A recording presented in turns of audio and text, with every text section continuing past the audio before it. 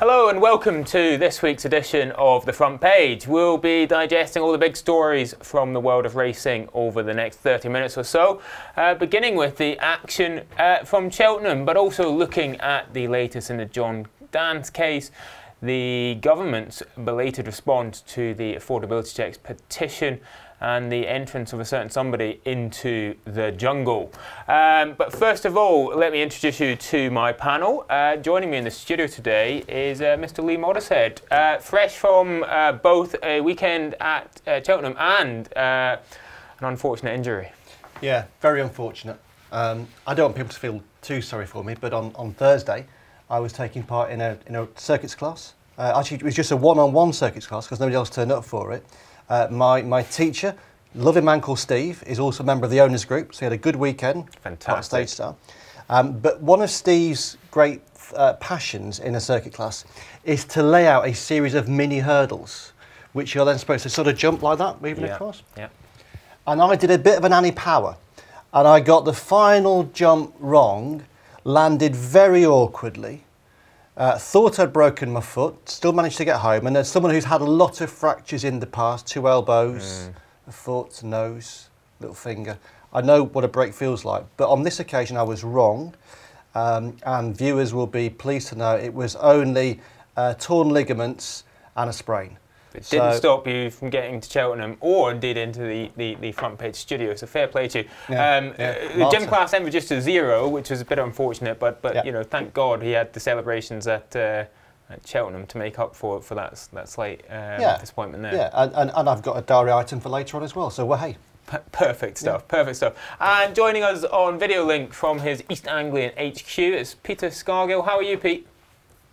I'm good. Yes, as as we were discussing, uh, looking sharp with my new haircut that my daughter did from yeah. me a few days ago. So yeah, I'm I'm pumped and ready to go and fully feisty fit, unlike other members of the team today.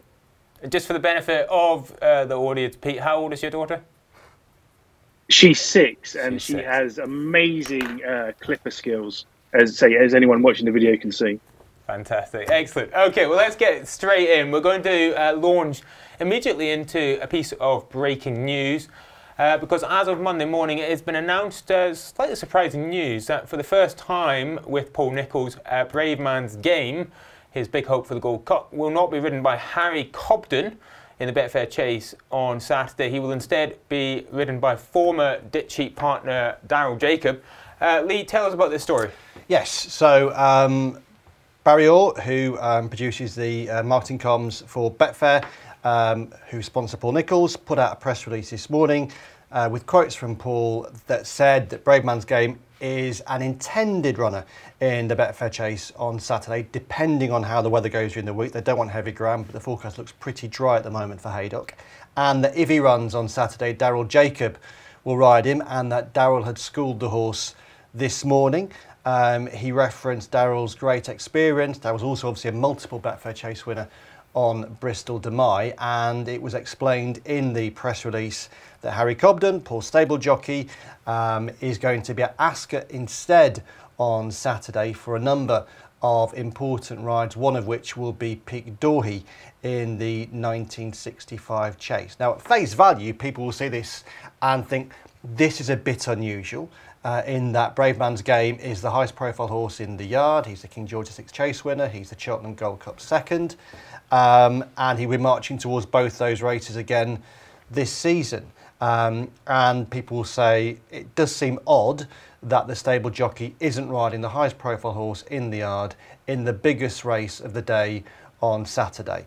Um, and they might also reference the fact that um, on Friday at, at Cheltenham, um, Paul wasn't happy with the ride that Harry gave Captain Teague in a Grade 2 novice hurdle, and he spoke about that in my colour piece uh, from Cheltenham on Saturday. But he'd been very happy with a ride on Stage Star at, uh, at Cheltenham on Saturday in the Paddy Power Gold Cup. And um, I'm told this morning from uh, within the, the, the, setup there that it, there is nothing uh, suspicious about it. It is purely that Harry has a big book of rides, or pulls a big team of runners at Ascot on Saturday, headed by Pic D'Orhy, and that Bravemansgame might not run at Haydock anyway, depending on the weather, and therefore it's simply um, they see it as a sensible deployment of resources at Haydock on uh, Haydock and Ascot on Saturday. I suppose what would be interesting is Brave Man's Bravemansgame goes and wins by 10 lengths and produces a stellar performance.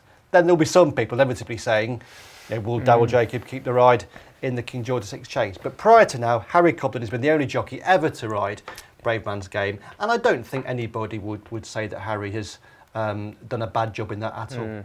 No, 18 uh, runs, 18 times Harry Cobden has taken the ride it's inevitable people will sort of um, talk about this and will question whether there is anything else um, afoot here, especially given um, you know, Paul, Paul Nicholls always very upfront, and, and as you as you quoted on uh, Saturday, you know he, he wasn't totally happy with Harry's performance on Friday. So it, it is inevitable that people will therefore take two and two and come up with their own conclusion.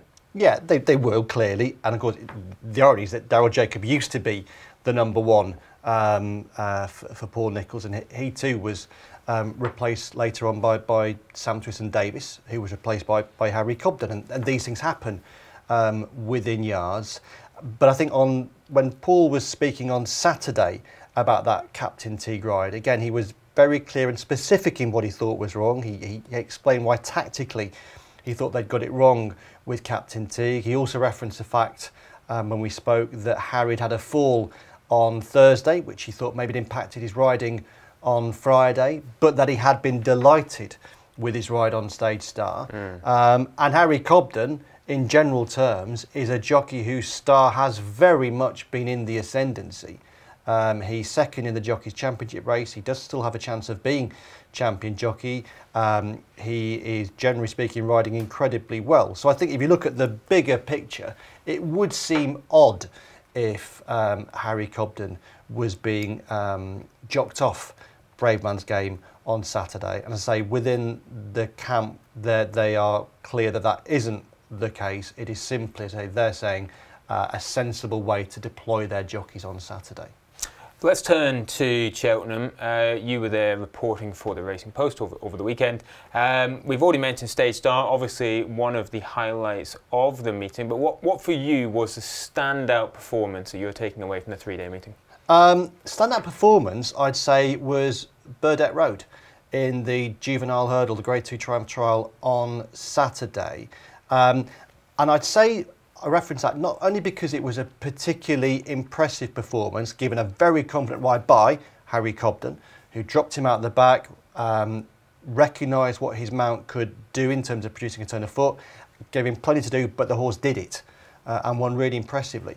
But what I think was particularly important about that horse's win on Saturday is that Burdett Road is the textbook example of the sort of horse that British jump racing has been lacking. He's a 103 rated flat horse. He's listed Group 3 class on the flat. He's exactly the type of horse that would once have been switching mm. from a flat racing career to two mile hurdling, going Supreme, Triumph, and then Champion Hurdle route. Exactly the sort of horse that we have been missing. Uh, and that's why champion hurdles and grade one hurdles in Britain in recent years have been particularly weak because that sort of horse now generally speaking is sold to go racing on the flat in Australia or Hong Kong or the Middle East. To their credit, the Gredley family um, turned down offers for Burdett Road. Now they're clearly they're a wealthy family, so they're, they're not they're not in need of the cash, but they could have cashed in on Burdett Road. Tim Gredley, Bill Gredley's son, made the point on Saturday that the sensible thing would have been to sell, but they're in it to enjoy watching their horses race. And they were mindful of the fact that Burdett Road is exactly the sort of horse that we've been missing. Thankfully, we've got him. So I thought that was a my my single performance of the week. I thought Stage Star was uh, super in the Paddy Power Gold Cup, given again a great ride by, by Harry Cobden. We had that drama at the final fence. And I thought really interesting yesterday on Sunday. We, we speak about the, the, the Nicholls Cobden combo earlier on. It was a big Sunday for Nico de Boinville and Nicky Henderson. Um, both their big winners, Jonbon and Iberico Lord, are owned by JP McManus. Um, it's well documented that JP decides who rides his horses. On many occasions within Seven Barrows, that is Nico de Boinville, but on some high profile horses, including Jonbon, it hasn't been. Um, in separate interviews I did last jump season with Nico and with Nick Henderson, they both spoke about the fact that, course, they would like Nico to be riding more of the horses, but they spoke very diplomatically. Uh, Nico has handled that situation with real dignity, and I think it was an important day for him on, on Sunday at Cheltenham. Nicky made that point as well, um, but it was a, important for, for Nico to have won both those races. And whilst nobody would be happy that Aidan Coleman wasn't able to ride, because like Nico, he's one of the waiting room's good guys, that there'd have been a lot of delight that, that uh, Nico had a chance to shine on those two horses and did a really good job. So what lots we, of interesting things at Cheltenham. What did we learn from, from Jonbon's victory as well? Um, I think we learned that El Fabiolo does have a serious challenger in the champion chase. You look at the champion chase market, it's pretty depressing. You've got two horses under 20 to 1 in the betting, one at even money, one at 5 to 2, 20 to 1 bar that. It looks like a two horse race. Um, and if you looked at last year's Arkle, or last season's Arkle, you'd be saying it's a one horse race because El Fabiolo beat Jonbon convincingly. But I think Nicky Henderson is adamant that we didn't see the real John Jonbon in the Arkle last season.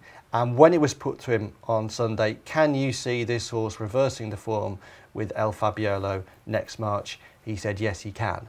And I think based on what we saw on Sunday, if you're a supporter of John Jonbon for the champion chase in March, you will have gone away encouraged by what you witnessed, particularly as that was his first run of the season.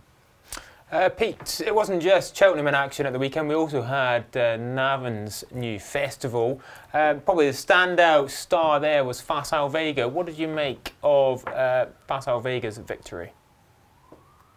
Well, I would be no expert when it comes to assessing a horse's jumping and how they do things over fences, but he seemed quite proficient. There was a couple of uh, novice mistakes that I suppose you would expect from a novice. Um, but in general, look, he's a horse. He was extremely good in bumpers. Uh, he's extremely good over hurdles, and he's going to be extremely good over fences, isn't he? Um, and no doubt he'll be plotted towards the Cheltenham Festival very efficiently by Willie Mullins. Um, the horse in second in the pocket, quite a few wise as well, I think, in terms of the future. So, um, look, encouraging there from from both of those horses, um, and hopefully some some extra depth to the to the novice chase department um, when we come around to the spring races, rather than scaring people off. So you know that he was he was certainly good. It was good to see Bob Olinger win. Um, probably not quite as impressively as it looked when he loomed up on the bridle, but given how good he was going to be and how good he uh, proved not to be last season, if that makes sense, uh, it was nice to see him get his head back in front. Uh, Gordon Elliott just about scraped in in the Troytown with his 15 runners. Uh, 14, 14, 14, runners in the end, uh, Pete, in fairness, we should say point. Good point, Tom. I hold my hands up. Accuracy is very important. Um, obviously, Gavin Cromwell, who's um, you know his record at Cheltenham to go back to Cheltenham, he's five winners from twelve runners this year. He's a guy who's proven very effective at, at targeting races. Uh, big races nearly upset the the Elliott party there. So look, that was that was good. And I've got one other. Oh yes, Captain Guinness uh, in the Fortria, he was good as well. But obviously that really only served. Uh, beat Jonbon really, didn't it? Given Jonbon beat him out of sight when they last met. So, um, yeah, look, it, it, seemed to work well. The Navan weekend, obviously, I wasn't there, but um, it seemed to work well as a as a, a double header rather than as a, a single meeting, uh, and some interesting and eye-catching performances. You'd have thought. Uh, also, not at Navan was Navan's finest uh, David Jennings, because instead he was at Cheltenham. And Lee, he wrote a very uh, interesting piece speaking to some of his compatriots um, it's in today's paper and online for members now, basically talking about how the November meeting has become the new festival for, for, for plenty of Cheltenham aficionados. It's qu- slightly quieter. The town, you, it's easier to get uh, get around the place. The racecourse in the town, get tables, restaurants, whatever. The atmosphere is still great. The racing's still great. Um, and Cheltenham are leaning into this big time. They get about 60,000 over the three days. They're aiming to make that 70,000 within the next couple of years. You know, what's your assessment of it? Do you think the November meeting is just going to go from strength to strength? And, and is it better than the festival? No, it's not. It's very good. Um, what's not to enjoy? Three days at Cheltenham, quality racing. But for me, uh, the festival towers above everything else. That's not to say I, I didn't really enjoy the November meeting, the open that was. Um, and um, I can absolutely understand why those Irish racegoers that DJ spoke to said they prefer November. I know a lot, a lot of other people do as well because for the point that you laid out, mm. it, as a customer experience, it's bound to be more enjoyable if you can just get around. More affordable as well. Absolutely, more affordable, Yeah. more enjoyable. One thing I would say about the November meeting, um, and I, I'd have, I was looking to try and get into one of the, the two colour pieces right of the weekend, but events overtake you and you, you you only have a certain amount of space. And uh, I already annoy subs enough by trying to overwrite um, and get more than I should do.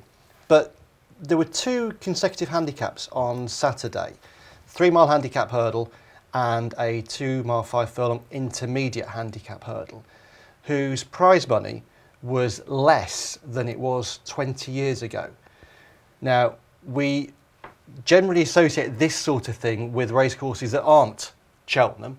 Um, but those two races are contests I've picked up on in the past in copy and noted that their prize money is way below what it used to be.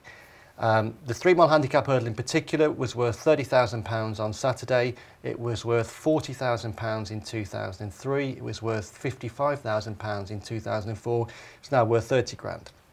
Now, you could argue that one reason for that is that at Haydock on Saturday, also a jockey club track, you've got a £125,000 three mile handicap hurdle. One's a class one, one's a class two, but they're basically the same race, they're open three mile handicap hurdles.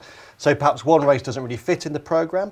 Um, perhaps things need to be tickled and amended, but I did think it was odd, and I do think it's odd that you have two races like that that maybe aren't getting the, the fields as strong as they could be. Certainly, intermediate hurdle is a lot weaker than it was in the past, and they are worth considerably less than was once the case. And I think we, we pick up on that for, for race courses outside of the elite tracks. I think it's only fair that when we It's- see it with an elite track, we do pick up It's also the case actually at some of the festival contests Oh, where some yeah. of the prize money pots Yeah. are very low considering the prestige and the crowds and everything and the betting activity. But I think that's a topic for another day because uh, we, we go down the prize money route at our peril if we want to get through the rest of the show. Um, we're just going to take a very quick uh, break for an advert for our latest Members Club Ultimate offer.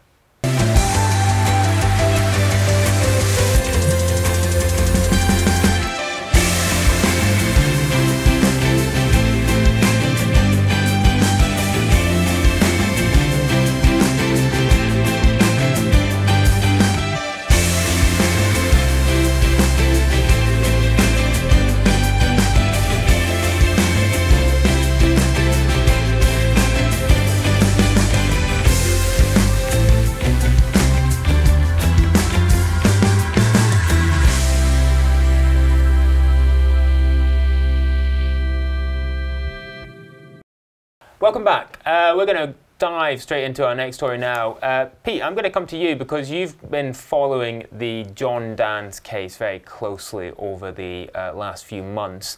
Um, tell us what's the latest and, and give a very brief recap of the story to date.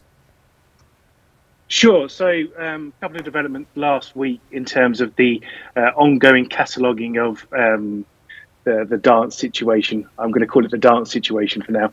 Um, so, first of all, there was the um, intimate, intimate. No, it, it was an intimate report, but an intermediate report, a six-month report from the um, special administrators who've been looking at WealthTek LLP, which was Dance's company that went into, um, you know, it was shut down in April after the discovery of serious regulatory and operational issues by the Financial Conduct Authority, which is the city regulator. So there was a six month um, review that was, or in, uh, investigation that was published. Um, some interesting insights into that, particularly the suggestion that, that the the administrators were having some real difficulty untangling what was been going on there. Um, the records were, were very uh, difficult to follow. Uh, they'd had to do a lot of um, analysis of financial transactions to try and understand uh, how there'd been an 80 million black hole develop, 80 million down from 81 million. So they found a million quid. So that's a start, isn't it? Um, uh, they talked about there being um, the, the company's been run as a, as a, as a, you know, with a gap in their finances for a prolonged period of time. So this isn't something that's just developed. It's something that's clearly um, built and built and built. So that was, you know, that was one aspect, giving us some insight into what was going on. And- On top of that- Pete, just sorry, just very quickly to jump in there. Um, just, just for uh, for the readers' benefit, how is this likely to unfold? Is it is this a case that is going to end up in in the High Court? it looks that way unless some sort of deal is is struck. So um, the fact that the Financial Conduct Authority amended the freezing order they had in place, so they had a freezing order that went in place in April immediately after WealthTek LLP was shut down, and this is what caused all the issue with Bravemansgame running at Aintree and not running at Aintree, and Bryan Drew having to buy John Dance out. You'll all remember the the drama that happened mm. with that around the bowl chase and then the Punchestown Gold Cup. Um, so they changed that from a from a forty million pound worldwide freezing order, which was a civil um, uh, piece of just uh, piece of documentation, to a restraint order.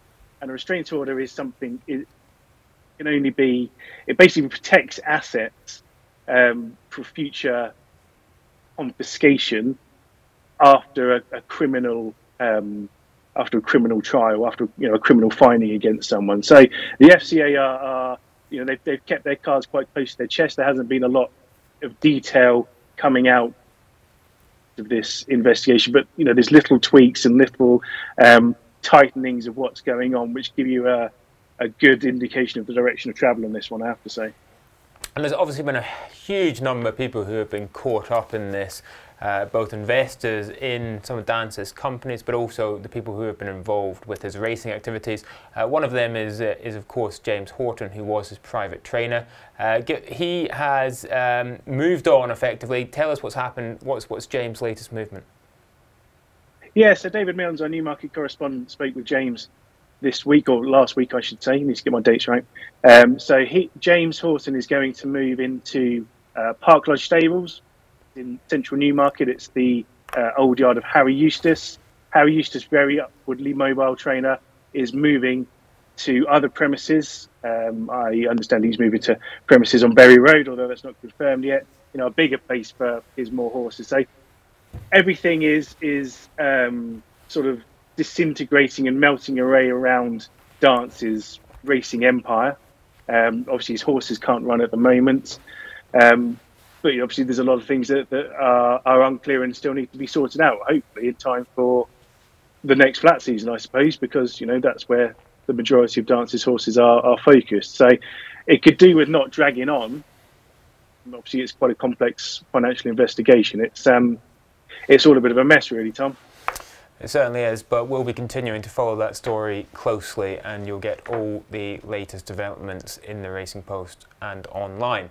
Um, another story we, of course, have been following extremely closely is the saga around affordability checks and the government uh, policy, uh, which seems to be slowly sort of evolving over time, um, has taken an, another slight and interesting turn following their response to the petition against the checks. This petition, launched by uh, Jockey Club Chief Executive Nevin Truesdale, is uh, now up to almost 90,000 signatures. When it gets to 100,000, it will be considered for a debate in Westminster. Uh, but in the meantime, the government have given their response to the petition, and it's quite a lengthy and detailed response. We analysed it in detail, and that's, that's available again on the Racing Post website, and we'll put a link to it in the description. Um, but we thought we would touch on the key points of the analysis on the show today. I mean, first of all, it's worth stressing that the government policy is effectively unchanged. They say that they remain committed to implementing uh, what they call a frictionless system of affordability checks in order to prevent people uh, incurring what they call uh, unaffordable losses on their gambling. However, there is an interesting development because for the first time we can see the debate sort of coalescing into two distinct areas. On the one hand, we have the government's proposals for checks. These have been scrutinised at length and spoken about at length, that whether they're going to be truly frictionless, how much damage they will cause to racing, and how much inconvenience they will cause uh, to bettors have all been major points of conversation. But now, interestingly, we begin to see a focus on what happens before those checks are introduced, what happens in the interim. And for a long time, uh, we and others in racing and, and betting communities have been trying to make this point exactly clear, which is that while the government policy is important, in the meantime, we already have affordability checks being extremely widely applied uh, perhaps as many as one in five regular racing punters already having been affected by them. And action is being sought on that point as well. Because at the current time, people are not only being uh, confronted by these very invasive uh, requests for their financial documents, but the sport is also seeing a decline in its revenues uh, from betting. Um, Lee, I guess the thing to say here would be that they haven't actually taken any action no. about the interim checks, but they have, for the first time, acknowledged them and made clear that they want to see an improvement in that situation. They want to see more transparency and more consistency. Um, I suppose it's, it's sort of a very small positive step in the right direction. Yeah, and given there have been so few steps in the right direction, you have to welcome it. Um, the government, the Gambling Commission, has never really acknowledged that bookmakers are imposing affordability checks because the Gambling Commission insists they should do. There's never been a specific directive on this one from the um, the Gambling Commission. There had in the past been clear statements about mm. what its view were on, on affordability checks, and at one point, he wanted almost everybody to um, get caught up in this seemingly. Um, but at least by this response, the government has acknowledged that this is a problem in the here and now. Uh, it's spoken about conversations with the Gambling Commission and the Betting and Gaming Council with a view to try and producing at least a more uniform approach to how affordability checks are being uh, implemented at the moment. Um, but it, but it's still the whole thing still just becomes ever more frustrating.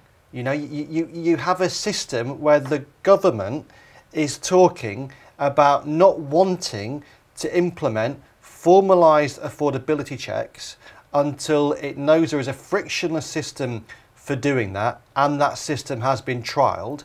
And at the same time, it's saying we want the current model of affordability checks to be uniform. Mm. If anyone watched this from a different planet would look at what is being said and say none of this makes sense. This can't really be happening. Yeah, and, and, but it really is. And the, the I guess the frustrating thing here is it is not that complex for them to impose uh, transparency and consistency on the existing system. All it requires is a, a, a, sort of a clear and unequivocal statement from the government about what is expected from bookmakers in the interim. So if they said, for example, you know, this is the figure below which we do not believe uh, bettors should ever be um, asked for personal financial yep. documentation, then that would be the point at which bookmakers would know they could uh, draw the line. Yeah. But in the absence of that, there basically there is no solution. And I think this, is, this sort of talks to the government's um, desire to have an answer that pleases everyone. They want to simultaneously get racing um, and the racing media off its back. They want to avoid offending punters. They want to avoid causing damage to horse racing. They also simultaneously are terrified that the anti gambling lobby uh, and its outriders in the media are going to uh, pounce on them if they do anything concrete, which seems like a step away from the from the, the, quite intrusive regime that they have outlined in the white paper, which leaves them in this impossible situation. They seemingly want um, someone else on a sort of a nod and a wink to, to agree to do something that will get them out of it. But it's just yeah. it is just not going to work, is it? It's not going to work, and I think it highlights the extent to which the Gambling Commission, the, the industry regulator, has become almost a liability um, for the government in the sense that the, the government's position is clear on one front in the sense that we, this shouldn't be happening. We don't want formalised affordability checks until the system is in place that we know they can work properly. Yeah. And yet you have the government's gambling industry regulator has already created a situation whereby these checks are happening at all sorts of different levels across the betting market, causing all sorts of frustration to, to punters and all sorts of damage to the British racing industry. And I sense from the, uh, the, the language that we are hearing at the moment that the government is perhaps starting just to become a little bit frustrated with the position its industry regulator has put itself in. You know, I, I, I don't imagine, we, as you say, the government doesn't want to be in this situation. It knows it's got a hot potato, a really difficult hot potato to handle, but that hot potato has been made ever hotter mm. because of the Gambling Commission. One other point I thought was worth picking up on in the response. Um, we published a series of articles called the Affordability Files mm-hmm. uh, in the last couple of months. You, you worked on them yep. uh, with our industry editor, Bill Barber. One of those articles uh, looked at the estimate the estimate DCMS put on the damage to racing as a result of its checks. It said it would be a maximum of 14.9 million. Uh, we did a very forensic piece looking at this and came to the very clear conclusion that that 14.9 million figure was a mistake. It was based on some flawed understandings of British racing's revenue models um, and some pretty simplistic uh, extrapolation and yeah. mathematics in order to arrive at that figure. The government have said they are working with racing to refine that estimate. It is essentially an admission that they got it wrong and that the entire premise on which these checks are based is flawed. Yeah, um, we knew that already. You know, that that's the frustrating thing, that so much of this has been blindingly obvious. Mm. You know, not none of this is a surprise. That so much of the of the foundations on which this this white paper um, has been built were always going to crumble. It was it was clear that that, that this was built on uh, assumptions and guesswork and estimates and wishful thinking, and wishful checks, thinking. for example. Yeah, absolutely. Yeah. You know, the the, the, the, the, the very fact that this this policy is built around being able to carry out frictionless checks when the originator of the policy knows at the moment you can't do those frictionless mm. checks. I mean, it's utterly ridiculous. It is extraordinary. Um, the petition, like I say, is at uh, almost 90,000 signatures. If and when it gets to 100,000, which I'm sure it will do, it will be considered for debate in Westminster. And hopefully, if that happens, there will be some enhanced scrutiny of some of these uh, measures. However, from the ridiculous to the ridiculous, we are going to conclude with the entry of a certain Frankie Dettori into uh, the I'm a Celebrity, Get Me Out of Here jungle. Uh, he's not there yet, uh, but he, apparently we will be there. He, apparently he's going to be arriving late. Um, he's, he's as big as nines to win it, the same price as Nigel Farage, read into that what you will. Um, someone called Danielle Harold is the favourite and another person called Sam Thompson is the, is the Racing Post tip. Put up at sixes, now no bigger than 92. Still value? I don't know who he is. Um, what do we think? What do we think? How's Frankie going to get on in the jungle? Don't care remotely. Oh, come on. No, no, no. I thought you were a fan that's of not reality fair. TV. No, no, no, no, I'm a strictly fan, Tom. And I would a much, more refined form I, Yeah, of, I would yeah. much prefer, prefer if, if Frankie had opted uh, to go down a reality TV journey that um, afforded him more dignity and enabled him to learn the cha cha cha. Um, that hasn't happened. No. I've got to be honest, I'm not a, a, watcher, a viewer of, of I'm a Celebrity, um, although I know that millions of people are. Um, I'm sure it will be very effective at boosting um, his, his profile. I do think it's a bit odd if he goes in on the basis that we now know he is planning to um, have a full-time career as an American-based jockey. I think this made more sense if, we, if he just retired, but hey ho. Um, yeah, I don't know. I mean, he just he, he's done this before. I, I remember I interviewed him before Royal Ascot, and the, the jungle thing was being talked about then, and I mentioned it to him, and his response was along the lines of, "Yeah, yeah, I've done all that stuff before. I'm grand. I, I, I can do it." You know, and he's done it when he was in Big Brother. He um, he did an impression of Mussolini, did a drag act. Uh, he knows he knows how to play the game. He's a performer, and okay. he will perform. I'm sure. Um, he did an impression of Mussolini. Yeah, I think he dressed up as Mussolini and did a drag act. I think. Yeah, different, Which, different times. Not, yeah, not at the same time. No, different time. Okay, a, yeah. a, drag Mussolini would yeah. be a, would be an interesting. Yeah. Um, and I'm, I'm, sure he'll, he'll he'll do very well. But my, my problem is, and this sounds terribly pompous, but I don't know who the majority of the people in there are, and therefore trying to trying to compare Frankie relative to them is difficult mm. at hmm. this stage. Um, and I just hope when the call comes in for live reporting on this mission, it goes to somebody else. Uh, well, we'll see. We'll see. Uh, Pete, how about you? Um, you must be a I'm a Celebrity fan.